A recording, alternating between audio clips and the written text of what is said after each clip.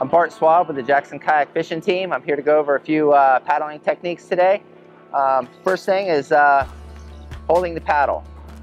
We don't want to hold it way out here. We also don't want to hold it right in here. Get that nice even ground. Another way to get that is put it on top of your head like this, bend your elbows at a 90 degree angle, and that gives you your perfect stance.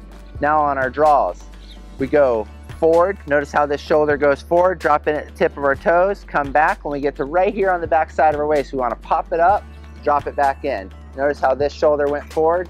As you go forward, you should be able to open this hand slightly. That'll help uh, from getting fatigued in your hands throughout the day pulling.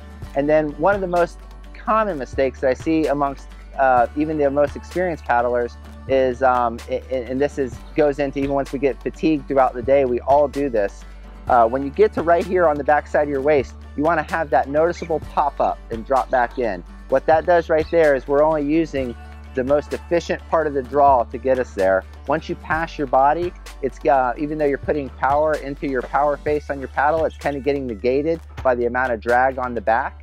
And then also, it's um, it can cause your kayak to kind of get that lean back and forth. So when you pop up right there and drop in, it's just really using that optimal point of, of, of water connection in your paddle draw. I don't think I'm to get any better than that, man. Ha ha ha ha ha ha!